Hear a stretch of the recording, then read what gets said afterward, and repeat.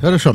Значит, в отношении различных поз, э, и которые совершают э, игры сексуальные, э, я только скажу пару слов, что э, это не является грехом, если это не является результатом похоти, каких-то вот э, плохих мыслей, да, если это не унижает обоих партнеров, то на здоровье и не вредит их здоровью, да.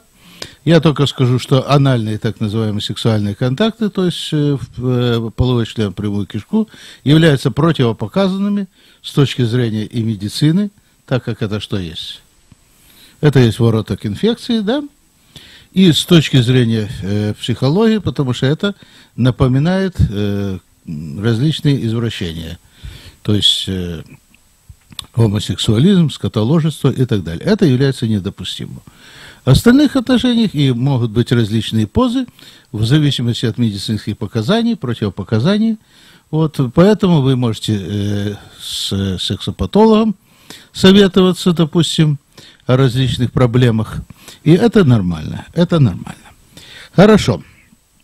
И в отношении, э, мы говорили, ритуальной чистоты, мы говорили, что есть 7, 7 дней, да, 7 дней, которые женщина не может совершать сексуальные отношения с мужчиной. И, и евреи э, ортодоксальные делают после такой седьмой день проверки чистоты еще семь чистых дней. Но это мы говорили, это заповедь или это не заповедь? Это ограда. Но половой акт в менструальное, во время менструации, да, является противопоказанием с медицинской точки зрения и запрещен запрещен ортодоксальным иудаизмом. И вот среди гинекологов принято считать, что раковые заболевания шейки матки, распространенные у многих народов, являются редким явлением у евреек. Каких евреек? Которые соблюдают эти законы чистоты и нечистоты. Кроме того, когда муж и жена контролируют свою сексуальную близость, это хорошо с точки зрения психологии. Это хорошо потому что они научаются ценить те моменты, да, те времена, когда они могут любить друг друга. А если человек начинает тешить свою похоть в любое время, когда ему захочется, то потом, как вы знаете, ему захочется чего-то другого, да, и чего-то особенного. И это уже является неправильным. Э, евреи обычно как э, имеют две кровати, да? И муж, и жена – значит, спят на разных кроватях. Бывает, иногда они спят вместе, но можно ли спать вместе в этот период, когда у женщины менструация? Нельзя. Вы знаете, что даже у женщины вырабатывается, да, менотоксин. Менотоксин, который является вредным для мужчины. И после того, как пройдет время нечистоты, окунание в мику. Вот здесь мы э, во время перерыва разобрались по вопросам миквы. Но слово миква, видите, э, даже употребляется при сотворении мира. Когда все воды, да, собрались в один водоем. Бог сотворил небо и землю, да, на земле что было? Болото. Потом Бог собрал воды одно место, да, он что сделал? В Якаву, он сказал. Якову, Кав направление, да, соберутся, и это водоем, как было названо? Миква, миква, да. Э, теперь вот э, различные слова, которые употребляются для э, ритуальной чистоты. Исход, например, 30 глава, 18 стих. Значит, написано «Киор нахешет ле, ле, э, ле рахца». Здесь без огласовок, поэтому я немножко затрудняюсь, и потом вспоминаю огласовки. Для рахца. То есть для чего? Для омывания. Да? Рахца – это омовение. Когда говорится о медном умывальнике. Киор в современном иврите – это что? Это миска. Миска. И умывальник имел форму миски. Здесь не употреблено слово миква.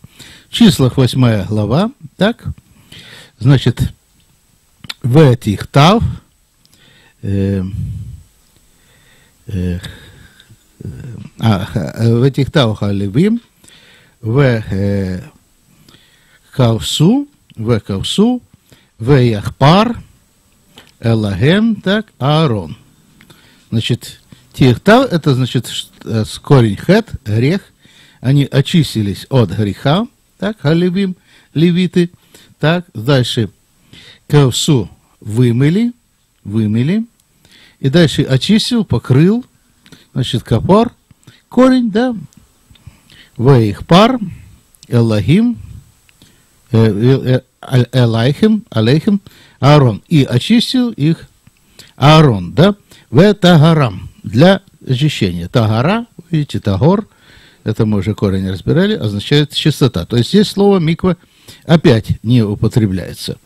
И Иезекииль, 16 глава, 9 стих, так, в Арахцам, Арахцах, Арахцах я умою тебя, да, или омыл тебя, Б маем, в воде, В ештах, значит, и смыл, Дмейха, и сквыл кровь твою. Захария 13, дробь 1, откроется источник. Вот здесь есть, значит, миквар, миквар как миква. Откроется нефтах и откроется источник. Лехатаат, то есть для очищения от греха, у ленида. И для очищения чего? От нида, о котором мы говорили, состояние. Значит, здесь похоже, что слово миква не употребляется. Я так сейчас размышлял, возможно, а это слово э, еще имеет арамейское больше значение, да? Поэтому э, евреи после второго храма, когда уже развилась вот эта э, фарисейская, да, вот эта система чистоты, нечистоты, рассуждения, поэтому это э, создались и термины того времени. Но я думаю, что Ишуа тоже употреблял это. Но что касается э, Нового Завета греческого языка, я затрудняюсь сказать, потому что греческого языка я не знаю. Но так или иначе, твила – это полное погружение, да, и миква – это водоем или сам обряд, да, погружения в мику, то есть в этот водоем. И это употребляется в еврейской традиции. Хорошо. Хорошо. У ребенка зачатого в чистоте и душа чище, и способности лучше, говорит еврейская традиция. Вы знаете, что если ребенок зачат состоянии алкогольного опьянения, у него намного выше вероятность что? Различных умственных расстройств, да? Если ребенок зачат и имеется какое-то заболевание, в особенности, допустим, грипп, свинка, краснуха, да, это очень вредно и в первые 3-4 месяца беременности, если мать заболевает такими заболеваниями, это очень вредно для плода, так как может привести различным уродствам, да? Если ребенок зачат со святыми мыслями, со святой целью и в святое время. Любой ребенок свят, вы знаете, даже если спрашивают, а родился ребенок вне брака, он тоже свят. Всякий ребенок свят, да? Но такие дети имеют определенные проблемы. И уже для того, чтобы нужно посвятить этого ребенку Господу, нужно молиться за него, да? И если возникают какие-то проблемы, вот, например, если берут из детского дома ребенка, и мы не знаем, он, может быть, был, э, родители его были алкоголики или какие-то другие, несли на себе грехи, э, э, идет, вы помните, не наказание за грехи, да, но какое-то, э, мы говорили, до третьего, четвертого колена, как говорят, посещение Господа, да, какая-то зависимость или что-то может передаваться Господу, э, э, ребенку. Наследственное проклятие могут передаваться – вот. Поэтому даже если ребенок родился в результате изнасилования, и женщины еврейские часто были изнасилованы, он святой? Он все равно святой, правда? Всякий ребенок святой. Но нужно за него молиться, и нужно решать эти проблемы, если они возникают. О, души детей считаются в еврейской традиции, зачатые святости и чистоте, являются особо чистыми. До замужества невесте следует изучить законы чистоты с помощью замужней женщины, желательно приятельницы. Почему? Должна быть такая женщина, которая может ответить на различные интимные вопросы, да? И не будет при этом насмехаться, и не будет передавать другому. Еще раз говорю, Э, в деле сексуального образования любая насмешка может вызвать потом непоправимые последствия. Это нужно делать серьезно, и нужно делать это мудро. Потому что мы святой народ, да? Мы царство священносучителей и святой народ. Хорошо. Теперь поговорим немножко об обрезании. Об обрезании. Так, я вам говорю, что в мику надо уже чисто окунаться, да? То есть это не есть омытие нечисто. Ты нужно сначала принять ванну, а потом окунаться в мику. Вопросы обрезания. Ну, некоторые говорят, бойтесь обрезания, бойтесь псов и так далее. Говорят, вот как живы христиане, а вы обрезаетесь. Должны мессианские евреи обрезываться? Если они евреи, да, если они чувствуют свою связь с еврейством, я считаю, что они должны быть обрезаны. Вот, но из этого не надо делать какого-то супер-пупер культа, да, цели, самоцели и так далее. Во-первых, многие думают, что обрезание связано с законом Моисея. Мы э, знаем, что в законе Моисея подтверждается обрезание, да? Но вообще это не завет Моисея, а завет кого? Авраама. И называется Брит Мила, да? Брит Мила, то есть завет слова. Мила – это слово. Завет слова. И это не означает, что человек, прошедший обрезание, он какую-то особую имеет, такой он уже спасенный там, я не знаю, а вот тот, кто не обрезался, тот не спасенный, вовсе нет, да? Мы обрезываем ребенка, потому что так делал протец наш Авраам, потому что мы чувствуем свою э, к этому да, по, ну, как сказать, мы цепь, вот цепь э, поколений, да, и мы передаем это от поколения в поколение, потому что мы евреи.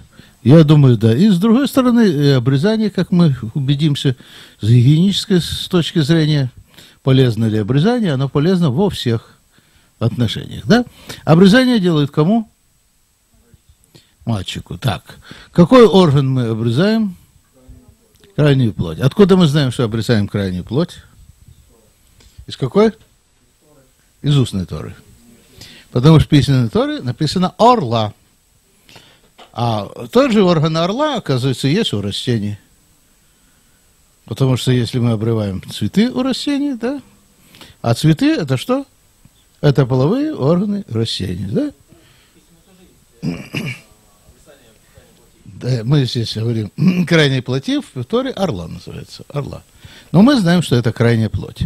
Обрезает мальчиков, девочек евреи не обрезают. Вот. И на какой день? На восьмой, да? И это знак завета. Завета Авраама. И к еще завету Авраама кто относится? Да, Измаил и его потомки. То есть арабы, они тоже относятся к завету Авраама. А другие мусульмане, они при, приходят, да, как бы, через мусульманство, через ислам к этому. Хорошо. И сказал Бог Аврааму, ты же соблюди завет мой, ты и потомки твои после тебя роды их. Значит, не сказано, что только для потомков Якова, да, для потомков Авраама. То есть Измаил, он тоже был обрезан. Да, помните? А как вы думаете, другие дети Авраама, которые не очень там несколько детей, они были обрезаны? Я тоже думаю, что они были обрезаны. Хорошо. Обрезайте крайнюю плоть вашу, и еще будет знамением, и это будет знамением завета между мною и вами. Итак, что это? Знамение, знак завета. Знак и не больше того, да? Но хорошо, если у нас есть такой знак, да? Вот. Если нет, тоже проблемы большой нету. Вот. Восьми дней от рождения да будет обрезан у вас в роды всякий младенец мужского пола. Бытие 17, дробь 9, 11. Итак, значит, обрезание – это очень важная такая хирургическая операция. Это, можно сказать, самая распространенная хирургическая операция среди евреев. Почему обрезание делается на восьмой день? Да, во-первых, э, ребенок, естественно, в первые дни он более э, болезненный, да? Но дело в том, что антитела, которые получает ребенок, он, они развиваются в организме ребенка, и он получает некоторые антитела от матери.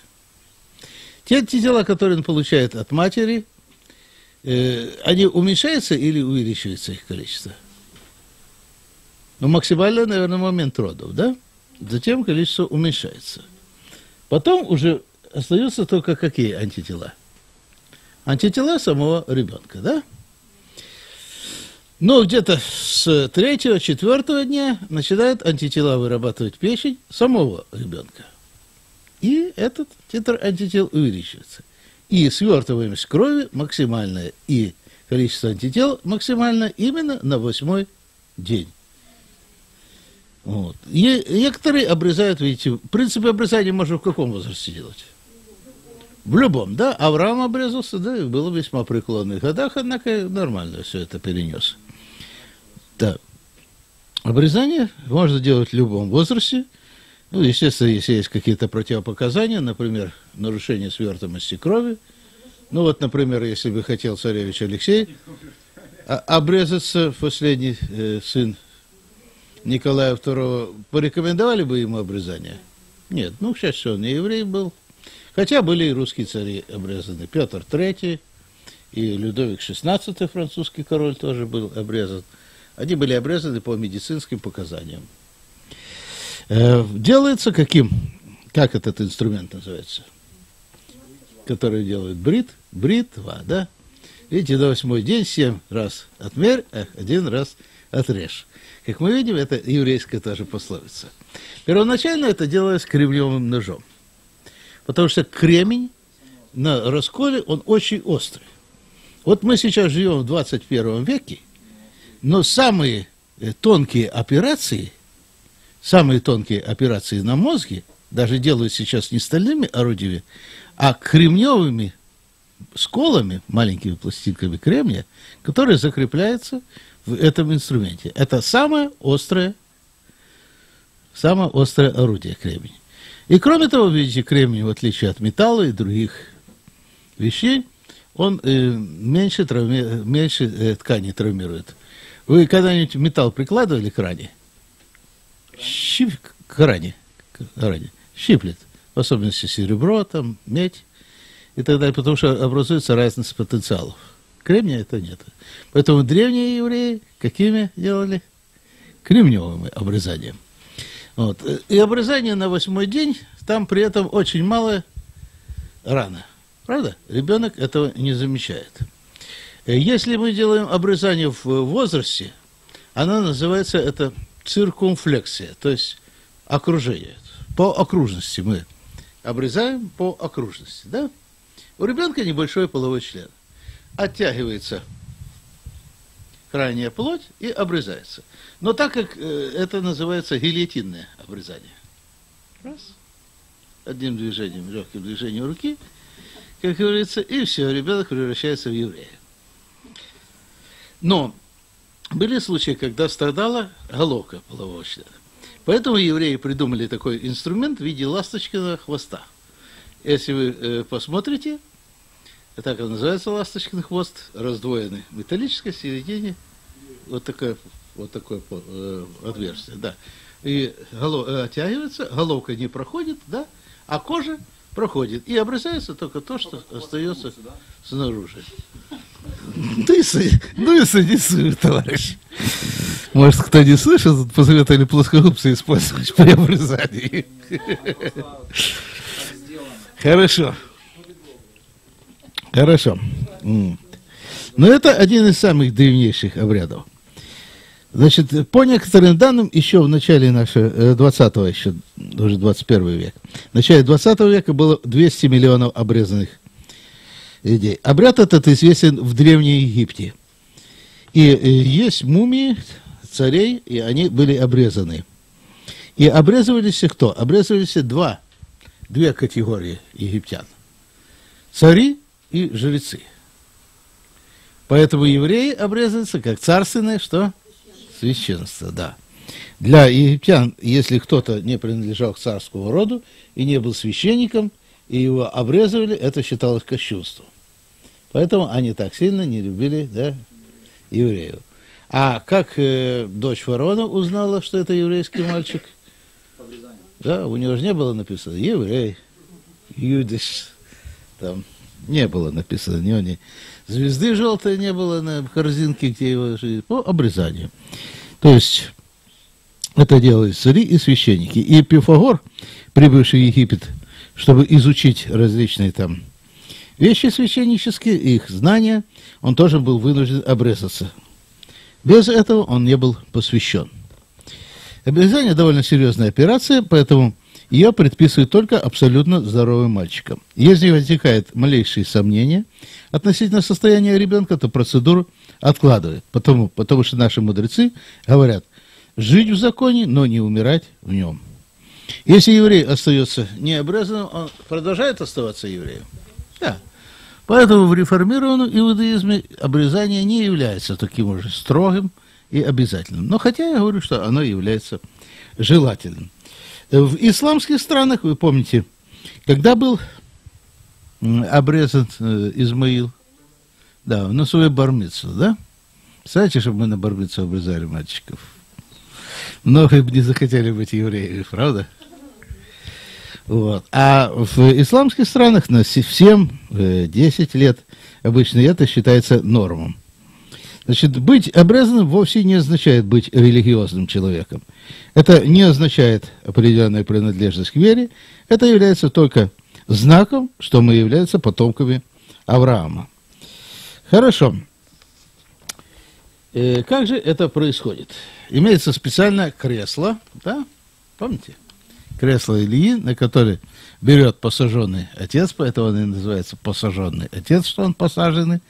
Причем э, мы говорили, что у евреев Испании даже часто христиане участвуют в качестве посаженных таких отцов. Он берет э, ребенка на руки, да, и держит так, чтобы Маэль мог подойти и э, сделать соответствующую операцию. Значит, произносится определенное благословение, затем Маэль делает быстро эту операцию.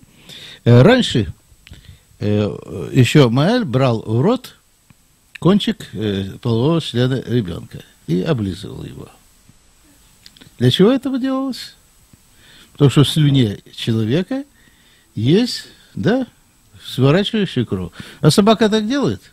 И другие животные. Да даже у нас инстинктивно. Ай, порезал. Да? И, и палец в рот. Но в настоящее время это не делают. Почему? Потому что есть определенные дезинфицирующие средства. То есть обрабатывают дезинфицирующими, кровоостанавливающими средствами, иногда накладывают повязку, да, легкую.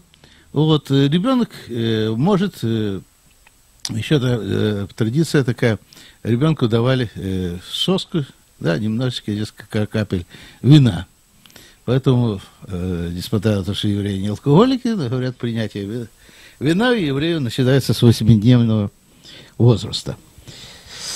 Вот. Итак, значит, новорожденного берут у матери и вносят мужскую половину.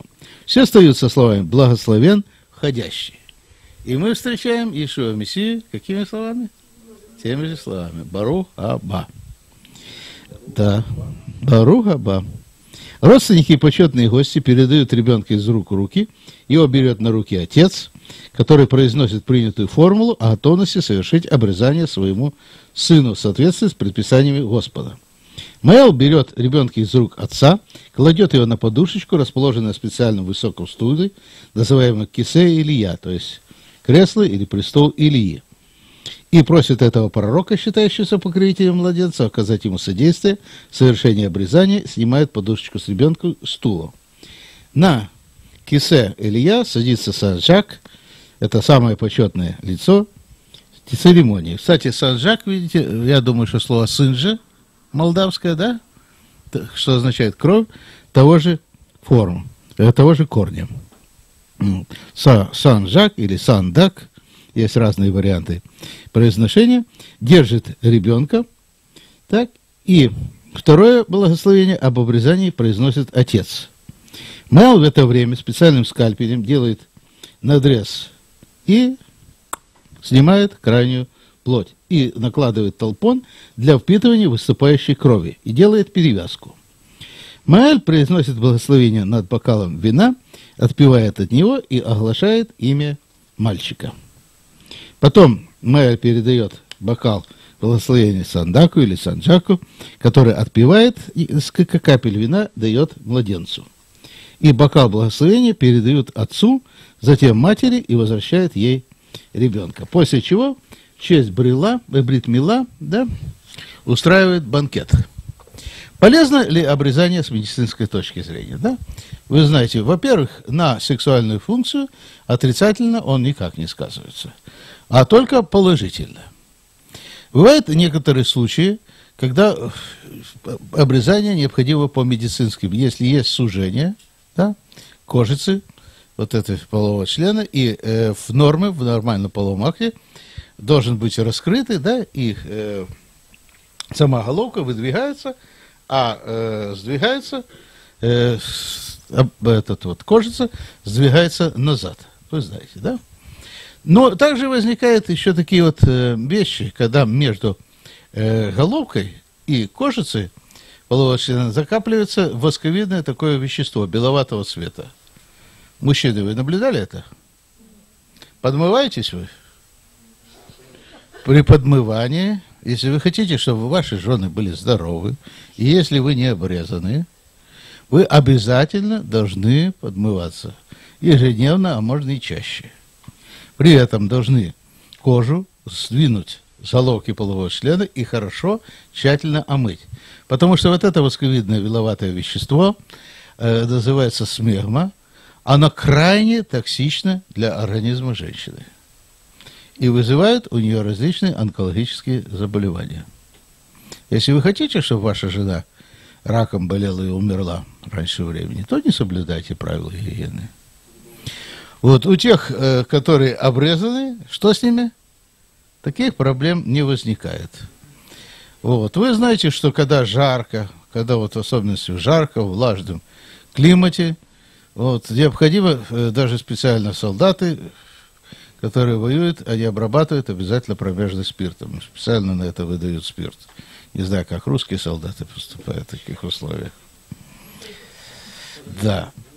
Опять, опять-таки, да, может застаиваться, может быть и запах мочи и так далее, вплоть до того, что возникают различные грибковые заболевания. Это хорошо или нет? Нет, человек, которого это уже обрезано, имеет такие проблемы? Не имеет такие проблемы. Следующее, значит, э, часто бывает детская мастурбация или мастурбация в подростковом возрасте, да? Когда мальчик, он э, каким-то путем различных движений раздражает головку полового члена и вызывает таким образом эрекцию и выделение семени. Так как я говорю, что мастурбация – это грех, да? Но если ребенку сделали такую операцию, то у него склонность мастурбация значительно ниже. Почему? Потому что кожица самой головки, она более грубая.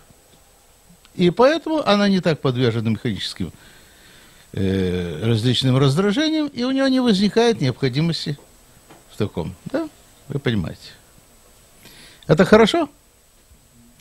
А у взрослого мужчины, опять-таки, так как снижена чувствительность, то половой акт может продолжаться значительно больше времени, значительно дольше. Часто женщины страдают из-за того, что половой акт мужчины значительно короче того времени, что она может получить удовольствие. Правда? Вот поэтому евреи являются лучшими любовниками. Да. Это хорошо и полезно, как мы видим, что во всех отношениях, да? Да, и мужьями, и любовниками, и так далее. Я сейчас говорю в миру, да, а в действительности, да, хорошо быть мужем, и когда вы получаете с женой действительно наслаждение. И вы и муж, и жена, и вы любите друг друга, и у вас при этом открываются очень широкие перспективы. Хорошо, теперь, что касается выделения крови в первую брачную ночь, да?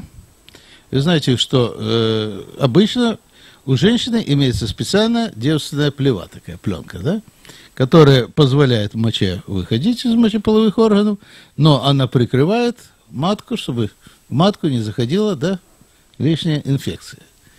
И э, когда она во время полового акта разрушается, при этом возникает небольшая болезненность, хотя, может, и болезненность более сильная, зависит все, опять-таки, как мужчина себя ведет во время этого, мы уже говорили с вами, так, да, дополнительных занятиях, да, что может предотвратить это. Надо всегда так делать, чтобы меньше травмировать, в особенности первую брачную ночь. Идет кровь, и эту кровь на простыне там показывают всем родственникам. А может так, что не быть крови, и девушка была, да? Может, если у нее эластичные, вот, или э, не развита девственная плева, иногда бывает девственная плева разрушается только в результате родов, и в таких случаях э, еврейские врачи дают специальное, э, как сказать, медицинское освидетельствование о том, что она действительно была девственницей, да? Такие проблемы тоже могут быть.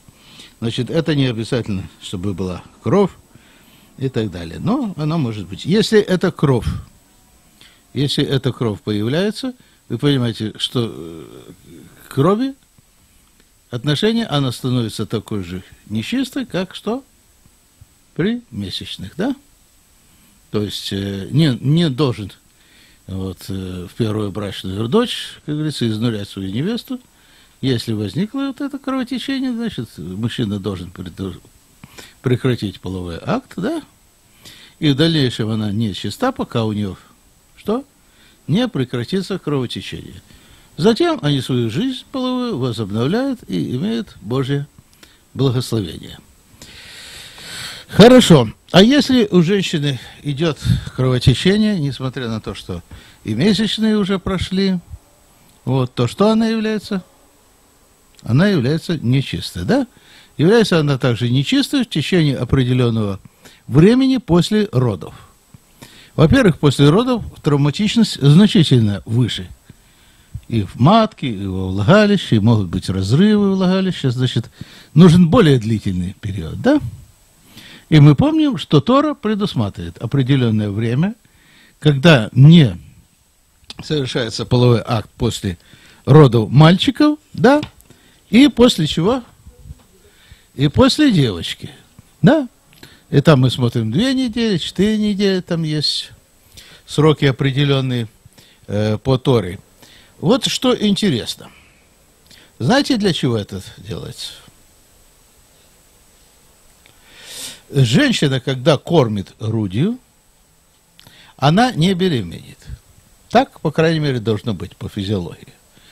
Потому что, когда у женщины созревает следующая яйцеклетка, она не рассасывается, она превращается в специальный гормон – она превращается в э, желтое тело, так называемое. Это э, гормон желтого тела. Гормон желтого тела вырабатывается в то, все то время, пока женщина кормит ребенка. Как только у нее прекращается молоко, да, то что с ней происходит? Она опять способна забеременеть, да? Поэтому еврейская традиция рекомендует кормить до какого возраста? До двух лет, да? И вот интересно – что после рождения девочки вот это желтое тело образуется позже, чем после рождения мальчика. И сроки образования этого желтого тела в точности совпадают с теми сроками нечистоты, которые предусмотрены Торой. То есть, если даже женщины нет выделений, да, она родила, и мужчина с ней совершил половой акт но не образовалось желтое тело. Яйцеклетка не превратилась в желтое тело. Что с яйцеклеткой делается? Она оплодотворяется. Да? И поэтому часто говорят, вот я рожаю, еще раз рожаю, и еще раз рожаю. Но если мужчина воздержался вот это время, и уже желтое тело образовалось, то что? То все нормально. Тогда в течение этого времени, значит, африканские женщины – Четыре года кормят грудью. Еврейские женщины сколько? Два года. Постараюсь, чтобы до тесте этот вопрос был. Да? Так, таким образом, ну, дойдем как-нибудь до японских, я посмотрю по интернету, вам точно скажу. Таким образом, что мы видим? Что Бог в самой Торе, да, предусматривает предохранение женщины от излишней частой беременности. И если вы точно поступаете по закону Торы, но, к сожалению, я вам скажу, что сейчас в связи, опять-таки, с нашей общей экологической обстановкой и с тем, что люди часто получают гормональные препараты, вы можете не есть гормональные препараты, но если вы съели кусок колбасы или курицы, или какой-то соевый... Э, я вам рассказывал, что соя нарушает цикл плодовитости, да? Все продукты сои, они тоже воздействуют отрицательно. А у нас эту сою буквально ложат во все попало. То, естественно, мы уже так не получаем такой вот чистый эффект. И тогда получается, что женщина беременеет раз в сколько лет? Ну, два года плюс девять месяцев, примерно раз в три года, да? И это нормально. Это нормально. Поэтому я говорю, частые беременности являются противопоказанными. Хорошо. Теперь мы поговорим о запрещенных сексуальных отношениях. Мы уже говорили о блуде и прелюбодеянии. Так, на тесте вопрос, чем прелюбодеяние и блуд отличаются? Прелюбодеяние, если один из э, партнеров да, находится в супружеских отношениях да, и совершает половой акт или э, интимную близость с другим человеком. Да? Если же они оба свободны, то это что? Блуд. Хорошо. И то плохо, да, и то плохо. Но прелюбодеяние хуже. Потому что блуд потом может еще человек жениться, да? И обязан по Торе, если он случайно это совершил. Да, а прелюбодеяние – это грех смерти. Вот. Хорошо. Итак, значит, прелюбодеяние – это сексуальные отношения с чужой женой или с чужим мужем. Это первое запрещенное сексуальное отношение – Значит, левитам 20, дробь 10. Если кто будет прелюбодействовать с женой замужнюю, и если кто будет прелюбодействовать с женой ближнего своего, что будут? Да будут преданы смерти и прелюбодей, и прелюбодейка. Когда привели женщину и сказали, что ее нужно побить камнями, какой вопрос может быть первым? А где второй человек, да? И второй вопрос, который бы я задал на месте Ишуа, а где свидетели? Кто свидетели, да? Должно быть два свидетеля. Вы сами понимаете, что это должно примерно так быть. Вот они прелюбодействуют, подходит кто-то и говорит, ты знаешь, что вот прелюбодействовать грех? Он говорит, знаю. Но я все равно это буду делать, да? Тогда он идет к своему соседу, стучится, берет этого соседа, опять приходит к нему, и они уже вдвоем смотрят, убеждаются, что те продолжают прелюбодействовать, возвращаются, идут в Синедрион. Вы сами понимаете, что такие ситуации крайне редко возникают, да? Вот, да. Вот, э, поэтому, э, в принципе, редкие такие случаи были, когда они наказывались таким образом. Но в тех случаях, когда доказательств нет, вы помните, проводилось специальное испытание – да, сота называлась. Сота это не сотовый мед, да, а сота это неверная жена. Буквально глупая, потому что сатан, он тоже глупый. И тогда делалось испытание. Помните, женщина выпивала, да, из Божьего имени, которое смывалось. Значит, для того, чтобы такое осуществить, тест нужно было смыть Божье имя, что само по себе являлось кощунством, да? Если она выпивала, то с ней происходили определенные вещи. Да, говорят, был такой случай, что одна э, женщина вместо себя взяла свою сестру-близнеца, которая не преподействовала. И та выпила это. А потом они пришли, та рассказала, что со мной вот ничего не было, они обрадовались, обнялись, поцеловались, и как только поцеловала неверная жена свою сестру губы, как сразу нее там живот распух, и все. Вот. Но для мужчины это тоже серьезный тест, потому что лучше примириться с женой, да, если ты тем более не знаешь, чем допускать такую вещь, когда имя Божие будет смыто. То есть наказание за прелюбодеяние в любом случае по Торе это что? Смерть, да? Мы говорим сейчас об изнасиловании. Значит, внебрачные отношения до брака – это блуд. И здесь другое. Значит, если молодая девица обручена мужу, и кто-то встретится с нею, вот, то что? Отраковицу и этого побейте э, до смерти, потому что она не кричала в городе, а мужчину за то, что опорочил жену ближнего своего. Истреби зло из среды себя. Это Второзаконие 22 э, глава, дробь 23-24. Но если девушка не обрученная, видите, обрученная, она уже все равно является как законная жена. То Второзаконие 22, дробь 28, 29. Если кто-нибудь встретится с девицей необрученную и схватит ее, и ляжет с ней, и застанет их, то лежавший с ней должен дать отцу от раковицы 50 сиклей серебра, а она пусть будет ему женой, потому что он опорочил ее, и во всю жизнь свою он не может развестись с ней. Здесь более мягкие, да? Вот. Но если хочешь, чтобы тебя побили камнями, значит, женись, да? Женись. Хорошо. В Молдав... У молдаван существовал обычай, либо он женился, либо ему отрезали половые органы. Да, это было более жестокое. Конечно, альтернатива. Вы сами понимаете, всему есть альтернатива.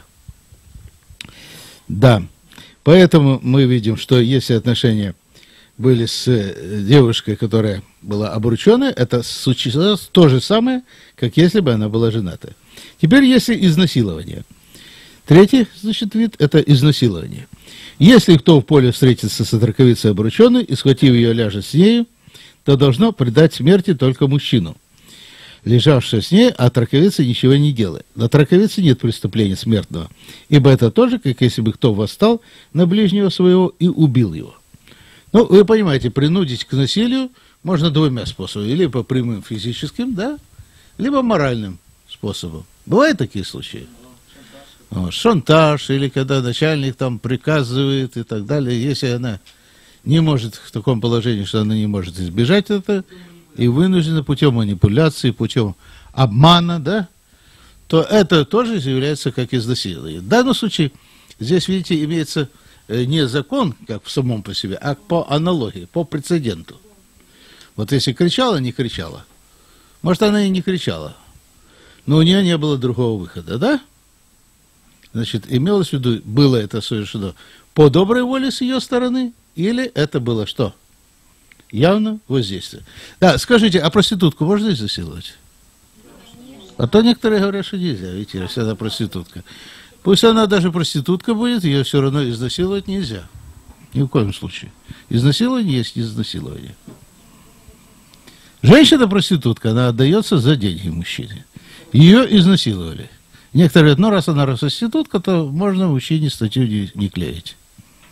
Это независимо от того, над кем существует насилие, да? Вы понимаете, насилие есть насилие. Хорошо. Еще какие запрещенные сексуальные отношения с ангелами? Когда люди начали умножаться на земле, родились у них дочери, и сыны Божьи увидели дочерей человеческих, что они красивы. Там сказано сыны Божьи, бне Элохим. Бне Элохим – это может быть сыны Божьи, это может быть ангелы, это может быть сыны сильных. Помните, я вам про семиметровых людей рассказывал, мы не знаем это. И брали их себе в жены, какую кто избрал. И тогда Господь что сделал? Наказал землю, да? То есть с ангелами нельзя. Бывают случаи сексуальных отношений с ангелами? Бывает. Эти случаи называются инкубы и суккубы. Да? И бывают часто такие вот женщины, которые вроде уж умер, и некто приходит и совершают половые отношения. И она, да это нравится. Значит, умерший муж не может прийти никаким способом, вы сами понимаете. Потому что я, я верю тому, что написано в Библии, что между умершими и между этим миром заключена стена. И умерший никаким образом не может ни приходить, ни давать советы своим родственникам. А кто это дело занимается? Бесы под видом умершего, да? Различные бесы. Ну, естественно, сам сатана, но вряд ли он там все вездесущий. Но есть определенные бесы, которые имеют ангелы, духи, которые имеют плоть. Авраам кушал с ангелами. Значит, они ели? Ели. Хорошо, так значит, инкубы и суккубы. Значит, с ангелами запрещено. С животными. Кто смесится с скотиной, того предать смерти, а скотину убить. Если женщина пойдет к какой-нибудь скотине, чтобы совокупиться с ней, то убей и женщину, и скотину. Да будут они преданы смерти, и кровь их на них. Вот. В медицинской практике у меня были такие случаи, в общем, когда, э, э, вы знаете, что я когда психиатром работал, у меня были разные психиатрические э, были э, проблемы и так далее. Кроме того, я был тесно связан с судебными органами. Я часто выезжал на экспертизы разные. И вот были две девочки, по-моему, 13 лет и 12 лет, и они спаривались с крупной собакой. Отец что-то узнал это, по-моему, убил собаку и их убил. Вот, а потом было тоже судебное разбирательство. То есть могут как мужчины, так и женщины совершать с животными половыми акты. И это что Торой запрещено, да? В римские легионеры часто совершали половой акт с овцами. И даже был такой э, закон, запрещающий продавать скот, э, евреи запрещалось продавать скот для римлян и для греков. Потому что у них наблюдались такие вещи. Значит, следующий – гомосексуализм. Гомосексуализм. Да, фу, это тяжелые вещи. Но они встречаются? Встречаются. Тот, кто ляжет с мужчиной, как с женщиной, то оба они сделали мерзость, да будут преданы смерти, кровь их на них. Правда, э, гомосексуалисты трактуют это по-другому. Если ты ляжешь с мужчиной, как с женщиной, это плохо. А если с мужчиной, как с мужчиной, то это хорошо. Но это их галаха. Здесь четко сказано, да? Хорошо, а если женщина с женщиной? Это по Писанию, Левит 20 глава, 13 стих. А если женщина с женщиной? Тоже плохо. Потому что, потому что об этом, об этом говорит Новый Завет. Римлянам, первая глава, да, помните? С 22 стиха и далее. Что и женщины тоже забыли свое естество. Видимо, во времена, когда писалась Тора, больше это было характерно для мужчин. Но когда уже во времена Ишуа распущенность стала больше, да, и поэтому стало более и для женщины. Хорошо, дальше. Следующий запрет. С родственниками. С родственниками. Есть определенные категории родства. Это близкие родственники, да? Отец, мать, брат, сестра. А если кто-то их замещает, допустим, он не родной, а мачеха, тоже нельзя, да? Помните? И в Новом Завете это подтверждалось, да? Да. Итак, значит, Второзаконие 22.30. Никто не должен брать жены отца своего и открывать край одежды отца своего. То есть не жена отца, это что? Это мачеха, да? Угу. 22.30. Значит, есть э, с двоюродными сестрами разные разные мнения по этому поводу. Я считаю, что они рекомендуются где-то до третьего, до третьего рода родства. Вот. Но иногда некоторые, некоторые деноминации разрешают. Некоторые деноминации разрешают. Следующее, значит, жена э, сына, то есть невестка. Если кто ляжет с невесткой своей, то оба они да будут преданы смерти. Мерзость сделали они кровь их на их. Кто совершил прелюбодеяние с э, невесткой? Иуда. У Иуды была жена, да, и в то же время он пошел искать проститутку. И оказалось, это его родная невестка. А в некоторых э, селах, э, причем в России, да, даже было распространено такое снохачество. То есть отец имел право со своей невесткой. Если сын куда-то уезжал, допустим, на, в армию уходил или на какие-то заработки. Вот. И это, считаю, это совершали христиане, причем э, даже иногда были такие староверы, которые считали это вполне нормальным. Что они не считали Тору, я не знаю. Вот. Дальше.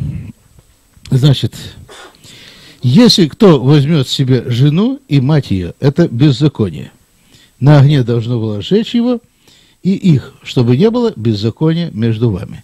Это может так тоже, когда женится на жене, потом ложится с тещей, такие вот случаи тоже бывали. Но здесь еще говорится о чем? Мог быть две, две жены, мог иметь. А он брал жены одновременно двух. Да? и женщину, и матерью. И в любом случае, это что? Это беззаконие, да? Это беззаконие. И нужно сжечь их на огне, даже не побить камнями, а более еще суровое. Побить камнями это еще сравнительно не сильно тяжелое было наказание, потому что обычно это делалось так.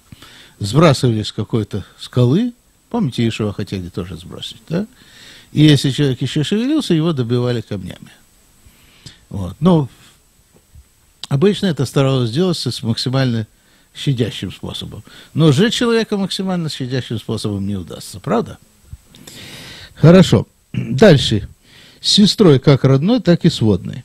Если кто возьмет сестру свою, дочь отца своего или дочь матери своей, и увидит наготу ее, и она увидит наготу его, это срам, да будут они истреблены перед глазами сынов народа своего.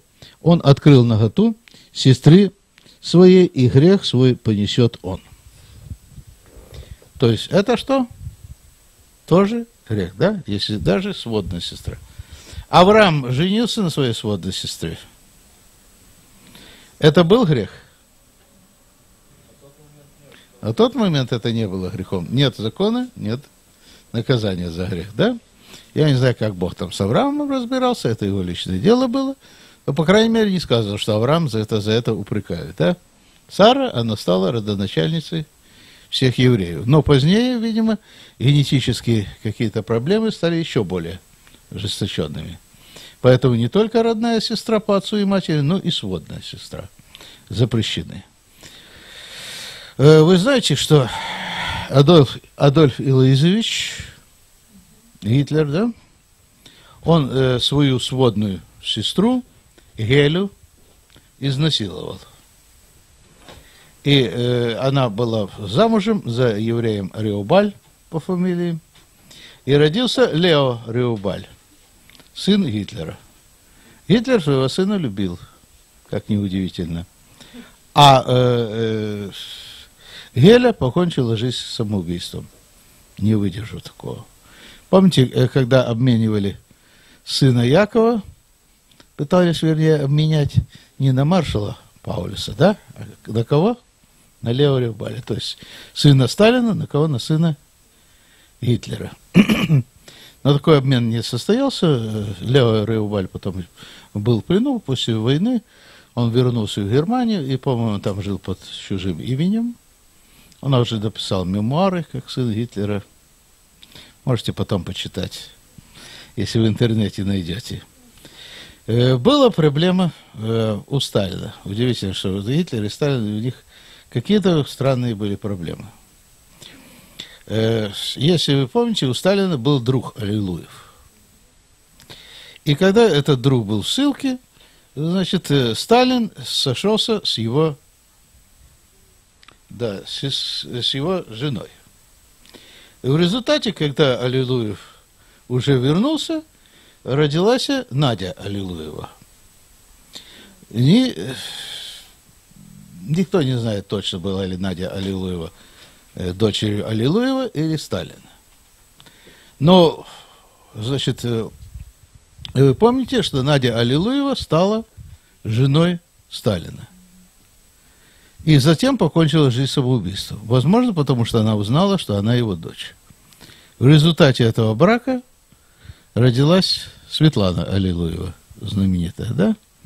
Вот мы видим вот этих великих людей, которые допускали такие вещи, что и у Гитлера, и у Сталина даже чем-то были похожи судьбы. Ужасные вещи могут твориться. Светлана Аллилуева, она его и дочь, и внучка одновременно. Потому что Сталин женился на своей дочери. Вот такая проблема возникает Итак, если кто возьмет сестру свою, дочь отца своего или дочь матери своей, и увидит наготу ее, и она увидит наготу его, это срам, да будут они истреблены перед глазами сынов. И так далее. Проклят, кто ляжет с сестрой своей, дочерью отца своего или дочерью матери своей. И весь народ скажет аминь. Это Левит 20, дробь 17, первая цитата, и Второзаконие 27, дробь 22. Теперь если с тетей с тетей или женой брата. Ну, жена брата вроде бы не родная по крови, да? Значит, если кто ляжет с теткой своей, тот открыл наготу дяди своего, грех свой понесут они, бездетными умрут. Левит 20, дробь 20. С женой брата, Левит 20, дробь 21, если кто возьмет жену брата своего, это гнусно. Он открыл наготу брата своего, бездетны будут они. То есть, интересно, здесь не указывалось наказание, что они будут побиты по камнями и так далее, но сказано, что они умрут э, бездетными. А если все-таки ребенок родился, все хорошо? Все нехорошо. Тогда ребенок считается, он исключен из общества Израиля. Таким образом, в любом случае получается, что они будут что? Бездетные. Поэтому есть такое понятие мамзер. Мамзер, да? Мамзер от слова зара. Зара – это как бы чужая. Это женщина, которая занимается вот такими проститутка и так далее, да? Публичная женщина. А мамзер – это как бы сын блудницы, сын вот этой зоры. Вот. И это кто является незаконнорожденным? Видите, в христианской традиции незаконнорожденный тот, кто родился, да, в результате, э, да, тот, кто родился э, без, без брака, да, ну вот женщина незамужняя родила, и он считается незаконнорожденным. Э, если женщина незамужняя родила еврейка, считается ее ребенок незаконнорожденным. М? Нет. Нет. Если женщина была изнасилована, не является. Он является полноценным. Он, да, он является полноценным членом общества Израиля. Всякие проблемы возникают у евреев. А если мы сожительство имеем и всякие прочие, то такую женщину надо побить камнями еще до того, как она родит ребенка, да? Вы, вы понимаете? Но э, ребенок, родившийся в результате вот таких вот прелюбодеяний и других вещей, он что является мамзером. Он не может быть членом общества Израиля. Да?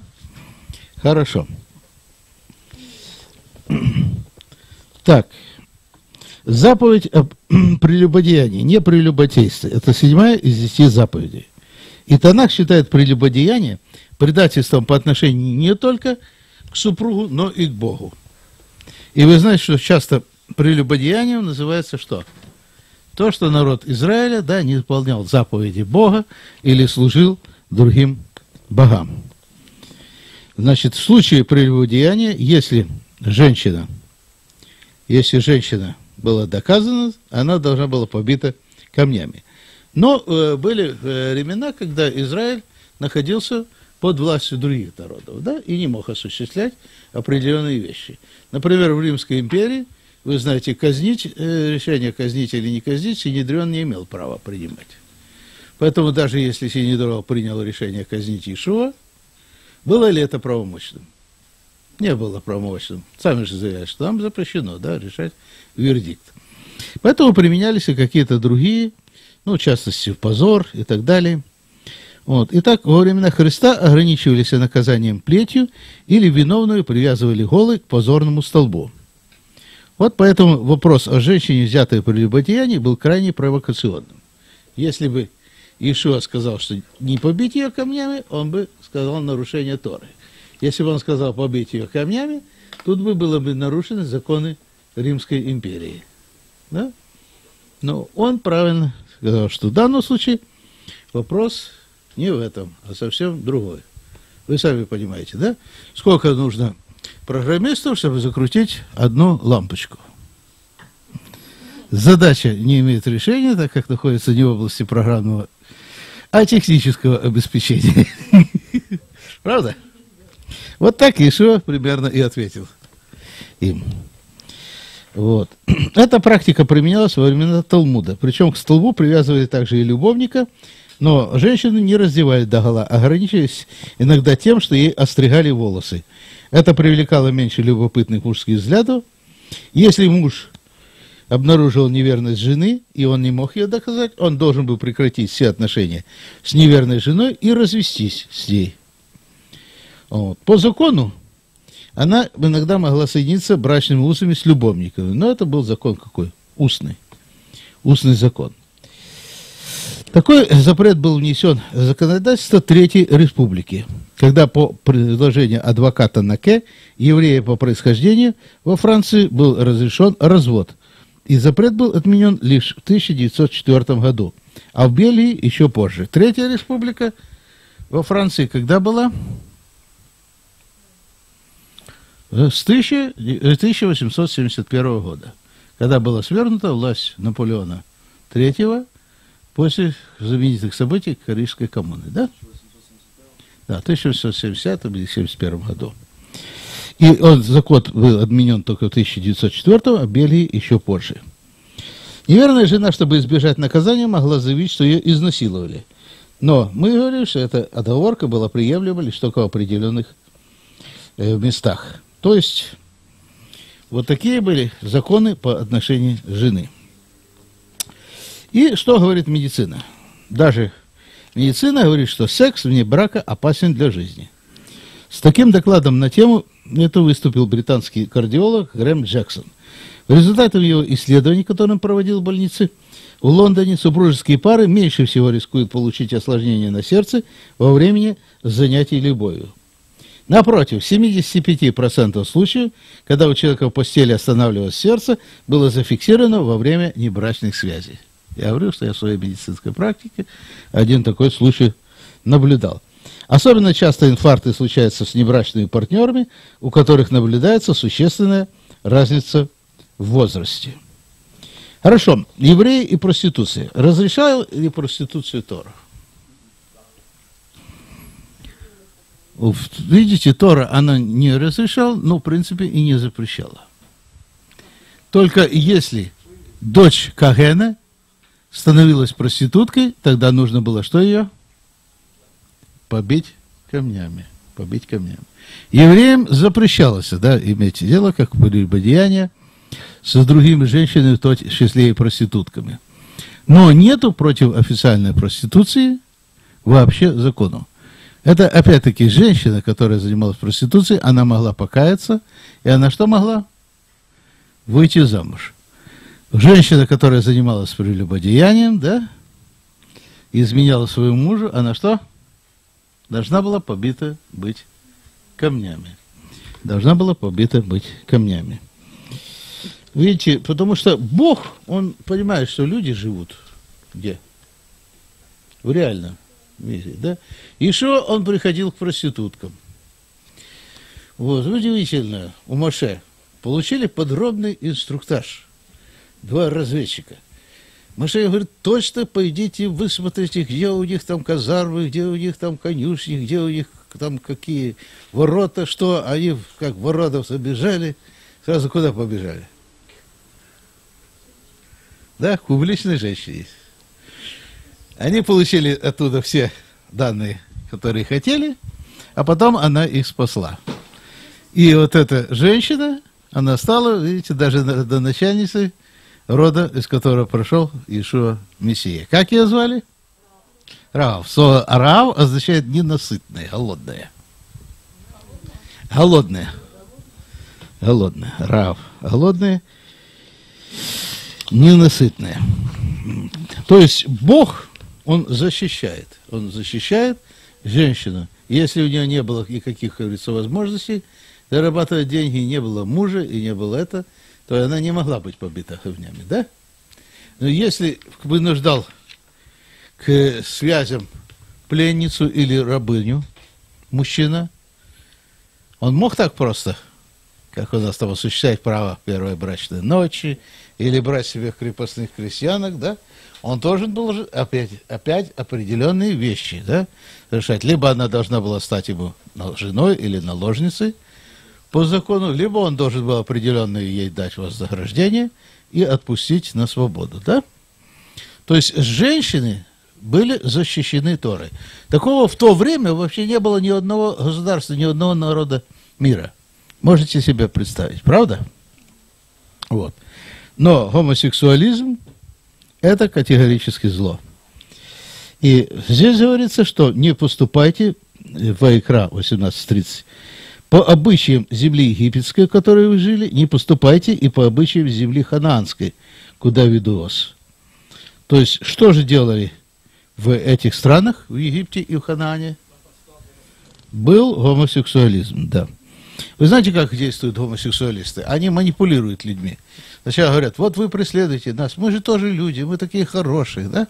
Потом добивается законодательство разрешения гомосексуализма, а потом они говорят, что вот мы такие, как вы можете хоть слово сказать против нас, да? Они буквально манипулируют созданиями масс. И я как-то беру, значит, э, я люблю скачивать мультики разные, рассматриваю мультик, что-то там написано «дак» по-английски, я не сильно, ну «дак», думаю, утка, да? Утиные истории, ну, значит, надо детям скачать. Читая аннотацию, там, значит, э, похождение селезня гомосексуалиста. Мультик для маленьких детей. Вот так они воспитываются в будущем. Вы понимаете, бывает гомосексуализм, мы уже говорили, который связан с определенными генетическими вещами. Такие вещи надо что делать? Лечить, да? Лечить, компенсируя гормонами. А в большей части гомосексуализм с чем связан? С духовными вещами, да, и это определенный, это определенный дух действует. Хорошо. А если к вам в церковь придут гомосексуалисты, что вы будете делать? Ну, если они будут себя вести прилично, да? Пусть приходят, пусть слушают проповедь. Потому что а, у них тоже, они тоже нуждаются, даже больше нуждаются, чем кто-то другой, правда? Вот, но ни в коем случае, что люди не должны думать, что эти гомосексуалисты являются членами церкви. Вот поэтому существует цер... членство в церкви, да? Приходить в церковь могут все. Но только членами церкви должны быть определенные люди, которые определенные правила церкви соблюдают, рожденные свыше, приняли водное погружение, да? И если такой человек совершает определенный грех, он должен быть что из церкви? Изгнан, да? Если он покается и больше совершать такого греха не будет, да? Вот. Но вопрос восстановления в лидерах церкви тут уже более серьезный вопрос.